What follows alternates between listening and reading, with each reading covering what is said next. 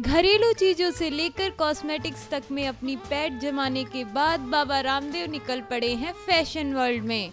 जी हाँ आपने बिल्कुल सही सुना।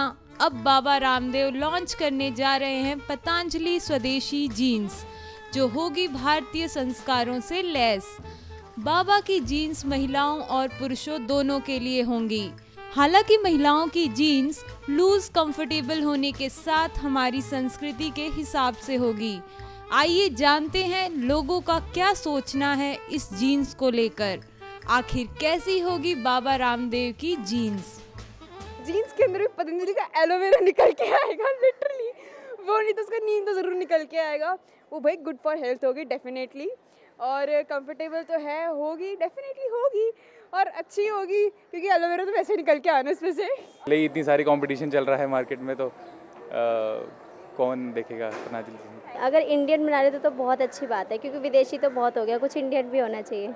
अच्छी होगी मतलब मतलब समथिंग एक्साइटिंग है तो हर कोई ट्राई करना चाहेगा। अगर अच्छा रहा तो चलेगा। वो जीन्स टाइप नहीं होगी लाइक पजामा काइंड ऑफ़ होगी।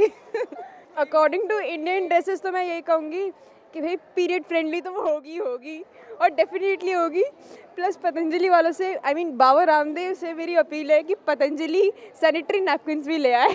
No no one use it Baba Ramdev क्या कर रहे हैं? स्वदेशी जीन्स दवाइयाँ ये वो क्या चल रहा है उनका? बहुत जोक्स आते हैं कि चप्पल भी वैसी है आएगी।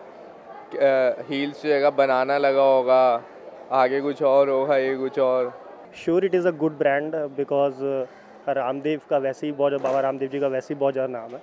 श्योर अगर मार्केट में आएगी, हम लोग यूज़ करेंगे that is not a doubt Baba Ramdev का ये एक्सपेरिमेंट हिट होता है या फ्लॉप ये तो जीन्स के मार्केट में आने के बाद ही पता चलेगा। लेकिन बाबा ने अभी से इसका अच्छा खासा प्रमोशन तो शुरू ही कर दिया है।